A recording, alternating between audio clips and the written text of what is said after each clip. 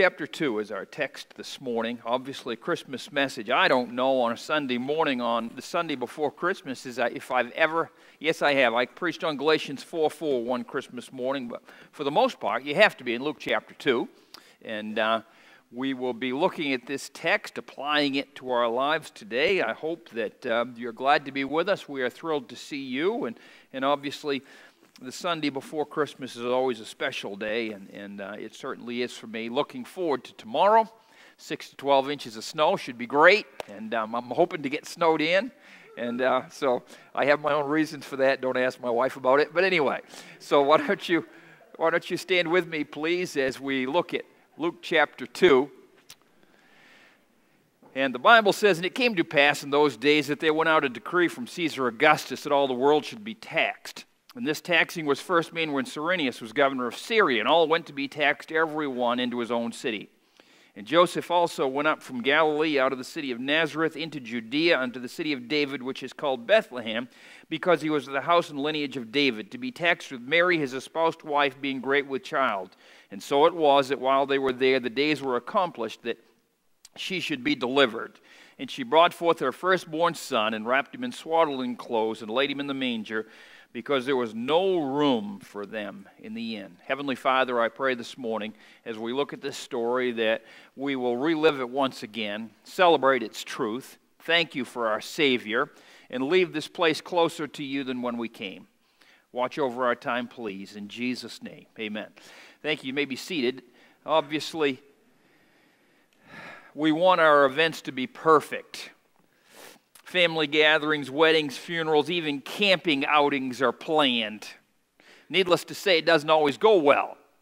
Sometimes the, the tent leaks when you're camping. Sometimes uh, the bear gets into the grub, whatever it is that messes it up, flat tire on the trailer. We have all these things planned, and not, things don't always go as planned. And we have a young couple here, Mary and Joseph, that were supposed to be married. And uh, they found out that Mary was with, with child before they came together, but it was of the Holy Ghost. So I'm sure that Joseph was taken back by that. We don't have time to explore all of the ramifications of that this morning, but it was shocking to Joseph after the Lord revealed to him that it was, it was not of sin in Mary's life. It was a good thing. It was of the Holy Ghost. Joseph moved forward in the plans for Mary to have the baby, knowing that he was going to be the stepfather and play second fiddle to this baby all of his life. And so I'm sure that he, like any good dad, had started to make plans for that baby to come into the world only for the government to change things. I don't know about you, but I, I, at times the government steps in in our lives through red tape or whatever, and the, there was a decree that went out from Caesar Augustus that all the world should be taxed. And so, to do that, the polling, the census, you had to go to your birthplace, which is not where they were. So they had to pick up and move, and Mary happened to be great with child. And this was not going according to plan. And I'm sure they weren't thrilled about that, but obviously, being obedient, law abiding citizens, they made the trip and they wound up in Bethlehem. And they got to Bethlehem and they did not call ahead. There wasn't there, the resources that there are today. There wasn't Expedia or any of the dot com things that you could do. There was no place to call ahead and make reservations. They showed up, they got there, the place was packed. Everyone that was ever born there, ever thought of being there, was there, and there was no room for them in the inn. I can't imagine what it would be like when you, as a man, wanting to take care of your wife, knowing that she's in this situation, the selfishness involved, and we could ponder all that this morning, but the reality, you would think someone for a pregnant woman would care enough to give up their spot so she would have accommodations, but we find nothing like that taking place in our story this morning because it did not take place. And the most gracious thing that was offered to them was a stable where they could at least have a roof over their head and the Bible records that the days were accomplished that she should be delivered, and she brought forth her firstborn son and laid him in a manger because there was no room for them in the inn. Now, obviously, that's a story that's not uh, new to you. Every one of us in this room have heard that before, and we relive it every Christmas time. And obviously, I am so thrilled this morning. I don't have to work my way to God, God came down to me. And that is the great difference in the faith of Christianity versus everyone else. Everyone else says you got to work, work, work, be, be, be, do, do, do, and you hope through all of your effort that somehow you'll be pleasing enough to God so that you can get there. And there is nowhere in the Bible that teaches that. The Bible says, For we've all sinned and come short of the glory of God. You cannot get to God. God knew that, and He came down to you in the form of His Son, Jesus Christ and I'm so glad he did. I'm sure Joseph and Mary had a plan, and the government changed that plan. And in life, you can expect the unexpected. You can expect the unexpected. Say that with me. You can expect the unexpected, and we've all experienced that before. There's a great verse in the Bible that if you've attended this church for any amount of time, you've heard me preach on in the past. It's 1 Corinthians 10:13. It says, There's no temptation taken you, no test that goes on in your life, but such as is common to man. All things are common. Say that with me. All things are common. Guy, there's no sin that you're struggling with that other men have not struggled with. It's common. Ladies, there's no situation that your husband is doing to you that other husbands have never done to their wives. Most things are common. There are some things that are uncommon, and that's God's interaction with man. That's uncommon. The love that God has shown to us in John 3:16. The virgin birth is uncommon. It's one of a kind. God's miraculous work in our life can be uncommon, but the facts of man and the life that we live are all very common. And I want us to see the common things going on in the story this morning. Number one, one thing we all experience is death and taxes. Taxes. They're all going to be taxed. Taxes right now are in the front page of the news because the president just signed into law what, what they're calling is a $1.5 trillion tax cut. I don't care if you're Democrat or Republican or whatever, or what you see in that really doesn't matter to me. But taxes have always been in the news.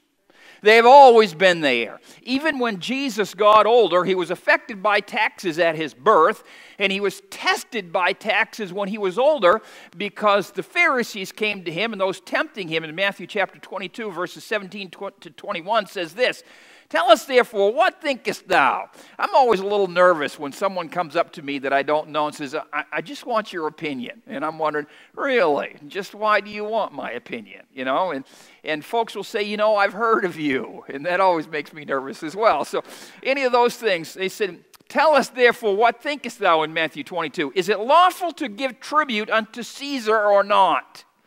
But Jesus perceived their wickedness. I like that. Jesus perceived their wickedness and said, Why tempt ye me, ye hypocrites? Show me the tribute money. They brought it unto him, a penny. And he said unto them, Whose is the image and superscription? And they said unto him, Caesar's. Then saith he unto them, Render therefore unto Caesar the thing that are Caesar's, and unto God the things that are God's. So obviously, taxes affected the life of Christ, and it was going on even back then it was a controversial thing, and it's a controversial thing today.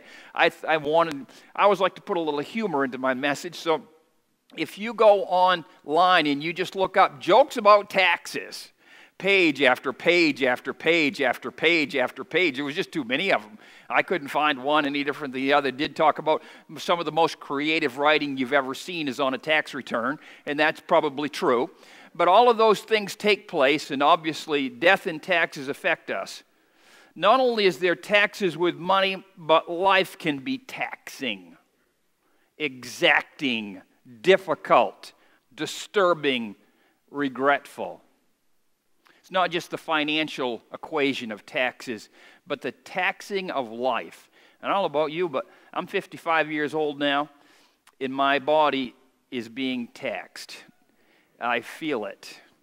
I won't go into my aches and pains. I've noticed I went to put this shirt on today and I can't button the top button anymore. I weigh the same amount. Um, I know you guys are, now, yeah, eh, Sherry Arnold's down here doing this. You know, real pastor's wife right there. I can feel the, the empathy that she has for me, you know. Tell Mark to find another job. Well, yeah, but anyway.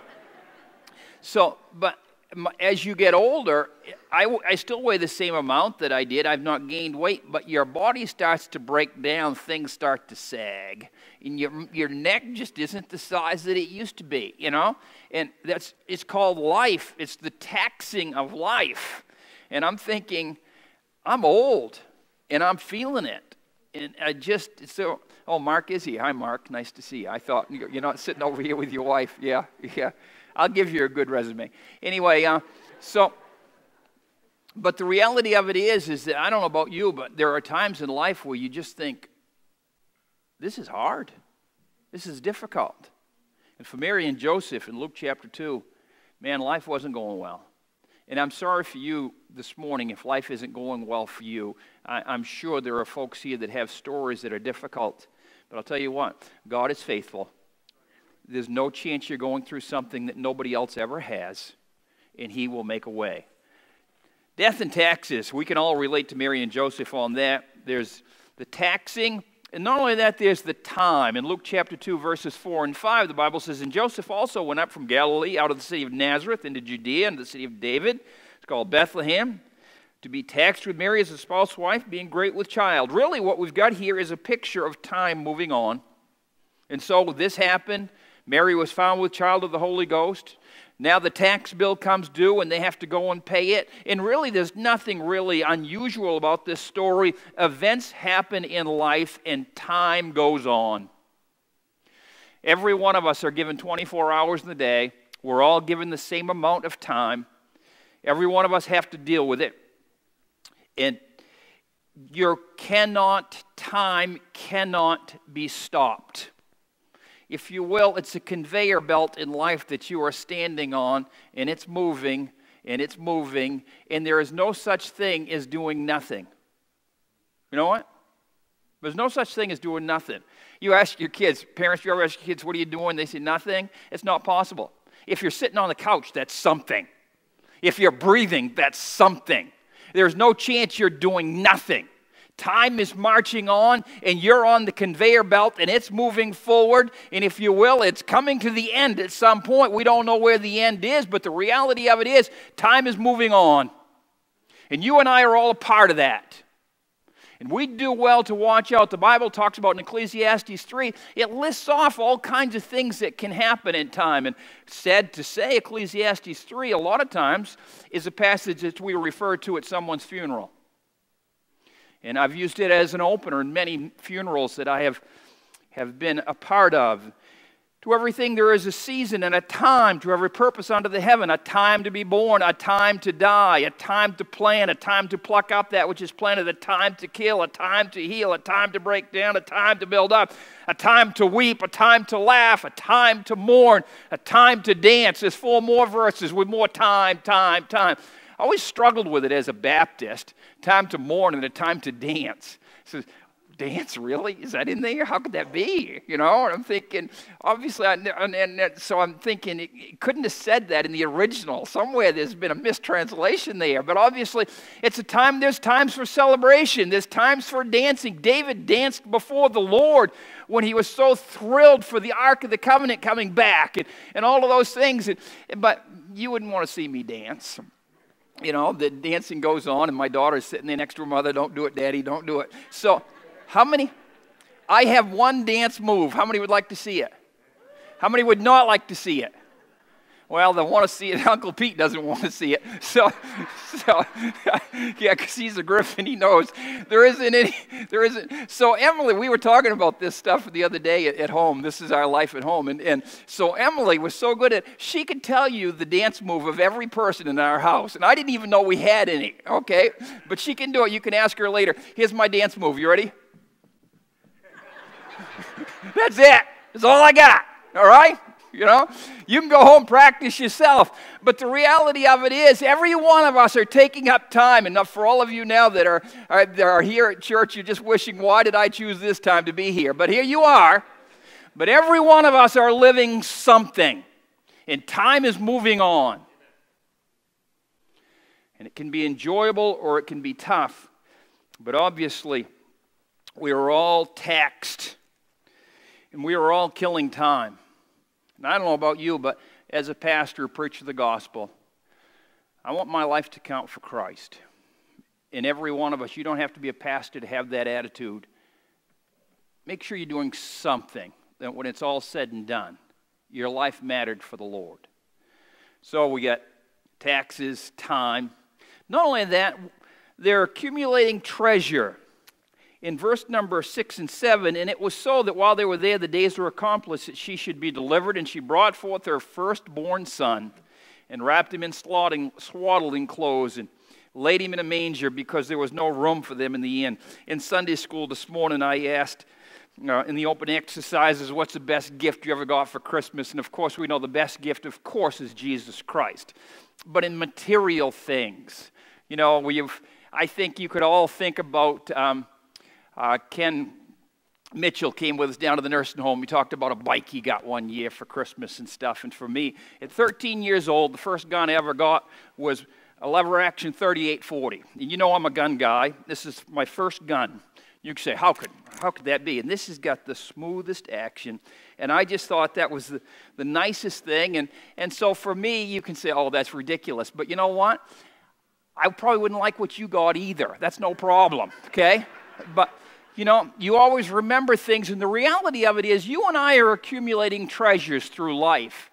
Now, it can be something as simple as a photograph that reminds you of something that's very special to you, or maybe, ladies, it's a dress that you wore whenever or i can remember the first time i held hands with my wife. I know where we were. I know what part where where we were we were in the car and i know uh, we were on the corner of 14th and union beside grant's dairy when grant's dairy was there okay? And if you're not from the area you don't know where that is and it doesn't matter. But there are times in life as we accumulate treasures and we remember things. I can remember phil was born 26 years ago my firstborn son and I looked in the, in the, the bassinet at the hospital, and I, I, I, had no connection with that boy other than knowing that he was mine. I can remember whispering in the, the, in the nursery, I love you, son. You don't forget those things. There's treasures along the way, and every one of us have. You folks are sitting together. You got family members that you're not normally in church with on Sunday, but you are today. I'll tell you, that's a treasure. That's something special. I've never seen Gary sing with his daughter before. I've never seen Gary move like that on stage before either, you know? It, it must be Amanda. I don't know. But you know, those are special times that we should not take for granted. But sometimes we do. There's time there's treasures. Joseph and Mary never forgot the birth of their baby in a manger. Pivotal moments can draw you together or they can tear you apart. I've seen tragedy strike in certain homes and things, and it didn't help the family, it hurt the family. They weren't bonding times, they were crisis times. And that brings me to my last T the tax is the time, the treasures and the tragedies. And verse number seven says, And she brought forth her firstborn son and wrapped him in swaddling clothes and laid him in a manger because there was no room for them in the inn. No room for them in the inn. Say that with me. No room for them in the inn. And obviously, there's a great song No room, only a manger of hay. No room, for he is a stranger today. No room here in this world turned away. No room. No room. No room. The tragedy, I don't know about you, but I've told you about my personal life, my dancing moves, all this. I've got one other personal story. Christmas creates a space problem in our house. Guys, if you're building a garage, whatever size you're pondering, it's not big enough, okay? It needs to be bigger. Everybody says to me, Boy, Stan, you need a bigger garage. And I've always, I always want to build a bigger garage, but my concern is in the, in the Bible, that guy that had it all, he says, Oh, what'll I do? I'll tear down my barns and I'll build bigger. And I think if I build a bigger garage, God will strike me dead. I don't dare, okay?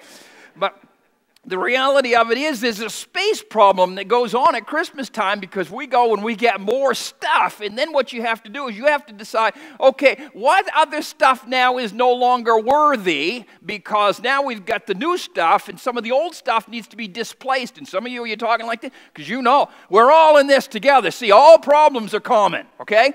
So this is, this is how it is. And so I've got all this stuff and I have to decide in my life what it is that, that has to come and what gets to stay and what has to go. And hon, I've decided you can stay, okay? But they're, they're you know, you gotta, you gotta consider it all, you know? So, but the, to me, so we'll get this stuff and some of it will come and some of it will go and whatever, and we move on. And, and, and some of these gifts are gifts that we know family members have given us, and we think, okay, what happens if they find out that got demoted and, you know, all that stuff? This is, this is tough decisions. But I think the greatest tragedy really takes place in not recognizing the tragedy at the time. For instance, a great storyline in a lot of movies, like Hallmark, Hallmark movies, or, or movies that women watch, and men do on occasion, but they'd never admit to it, okay? So, in the Hallmark movie, usually, here, I'll paint a scene for you is that it's a Christmas get together and and they're coming, I'll be home for Christmas, and family members and, and old friends are coming back to that quaint little town that they grew up in. And, and in that process, there comes this encounter between a man and a woman who's roughly in their 40s and they've had a life of their own, and they see so and so, and it was the girl, and he's the guy, and wow, how are you? Well, I'm fine. Gee, you look good. Well, thank you, so do you. How long has it been? Well, it's been quite a while.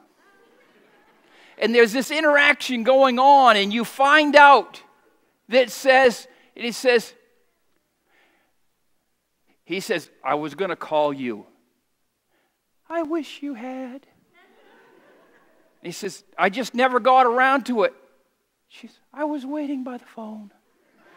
Have, we've, we've all seen these, haven't we? Don't look at me like this.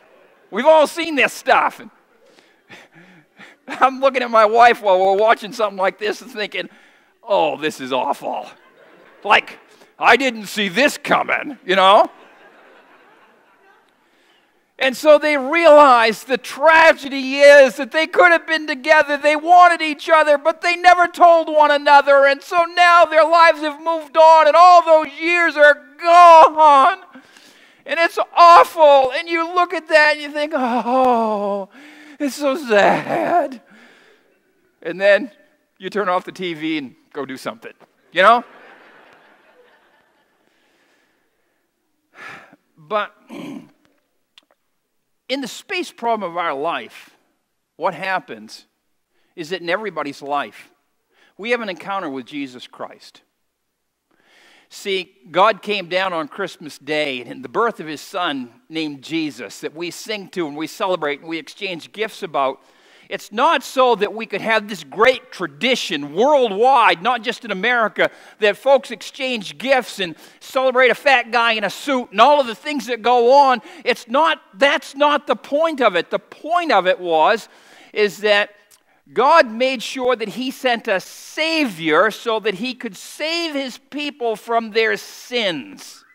He was known as Emmanuel, God with us. And that baby grew up and at about 30 years old, he started his public ministry. And he went out and he chose disciples. And he got 12 guys. One of them was evil. And he taught them what he knew. And then he laid down his life on a cross. And he gave his life. But the amazing part of it is, you and I can give our life, and many people do. Firemen, policemen, soldiers give their life. But there was something special about him giving his life because he gave it and then he was able to take it up again. He came back to life, which you and I can't pull that off. We can give it, but we can't take it back. Jesus gave his life. Three days later, he rose again. And he became sin for us who knew no sin, that we might be made the righteousness of God in him. He took our place. And somewhere in life, in time, in taxes, in tragedies, God exposes Himself to us and He shows Himself to us, and we recognize who He is. But we have a space problem, and there's no room for Him. And so we think, I'm going to do that one of these days. Wendell Calder preaches a great message. How shall we escape if we neglect so great salvation? Because most people are not denying Christ. A few people believe in Christ, but most people neglect Christ. Planning to later when they can find the room. And there's no room in the inn. And the reality of it is, many times there's no room in our hearts. And yeah, we believe in Him. We intend to do something for Him. Maybe someday we'll even choose Him. But right now, I got to do this, this, and this. And really, your life is a bad Hallmark movie. That someday the Bible says every knee shall bow and every tongue shall confess that Jesus is Lord. But timing is everything. And there is no chance in hell today there are people that don't believe. They all believe but they crossed the line and they, their life was over before they made their choice. And I just want you to know that God wants so much to have a place in your life, room in your heart. And it's up to you to make that room, to choose that room. And the Bible says, Behold, now is the accepted time. Behold, now is the day of salvation. We don't put that off. And I think if you'll allow me, someday there will be some of us that are here that never chose Christ. You're listening to me talk right now. Maybe you're hearing me over the internet when this message is posted. Maybe in your car, wherever you listen to the messages. But it's possible you'll stand before God someday and you'll look at Him and you'll say, like in a bad Hallmark movie, you know, I always intended to call. I always intended to accept you. And he'll be looking at you and saying, I wish you had. But there's no time anymore. So you never made room. And now it's over. And there's a song that's written, You came one day too late. One day too late. Jesus came and you've been left behind to wait. And I'll tell you, the greatest tragedy that could ever take place isn't that you didn't call the girl or the guy didn't call you. It isn't that you wish you'd gotten something for Christmas that you never got. The greatest tragedy that will ever take place in all eternity is for you to neglect Jesus Christ until time is no more. Heavenly Father, I pray there's room. I pray there's room in our hearts for you. I hope that I know that we're busy. I know that we're all given 24 hours. I know that everybody has family and life and boyfriends, girlfriends, husbands, wives, jobs, taxes, time, tragedies, turmoil. But Lord, the greatest thing we could do on Christmas Day is to make up our minds there is room in our heart for Jesus Christ. There is room in our heart for the baby. And today, without waiting any longer, you'd say, Lord Jesus, come into my heart and be my Savior with every head bowed and every eye closed, nobody looking around this morning, perhaps I've spoken to you. Perhaps you recognize that you've not made room for Christ in your life. And time is fleeting, the moments are passing. Why not this morning, on the day before Christmas, December 24th, 2017? Why not open your heart to Jesus Christ and stop putting it off and recognize that He wants you? He died for you. He rose again for you, and He paid for your sins. Would you please ask Him to be your Savior?